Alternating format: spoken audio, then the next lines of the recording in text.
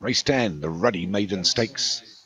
It's over seven furlongs and quite a small field this time. So number one elite seat for Stu Gray, two just little of Dan Hughes, three London calling for Joshua Sutherland, four seven furlongs for Stu Gray, five Tomahawk Ridge for Graham Clutterbuck, six G Note for Hans Jones, seven for Walk This Way for Obi-Wan, just the seven of them after having 50 odd horses running the last two races, just seven in here, they're in the gates and the flags are raised and the star's got them away. Reasonably even break, although just a little just missed it just by a, by a toe or so. But he's pushed himself right up to take uh, take the lead with G Note on his outside. a bit of a pull jockey there. We got him over to the fence. G-Note's got well over to the fence now, and we're inside the first furlong and a half, and it's G-Note leading by about four lengths back to just little. And we've got Tomahawk Ridge against the fence. Outside of that is London calling on the yellow silk to walk this way. Widest of all at the moment. Looks like it's seven furlongs, but it could be Elite Seat because Elite Seat's against the fence.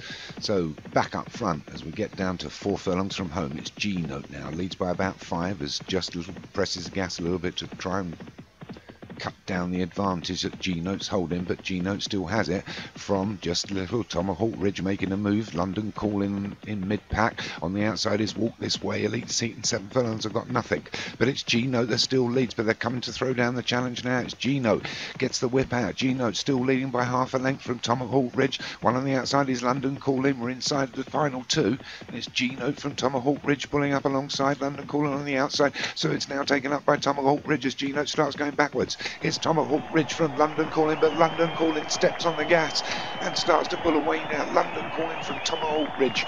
Walk this way he's going to be third. Elite Seat running on well for fourth. May even get up for third, but it's a win for London calling. Joshua Sutherland takes the Ruddy Maiden Stakes. Ruddy good win there.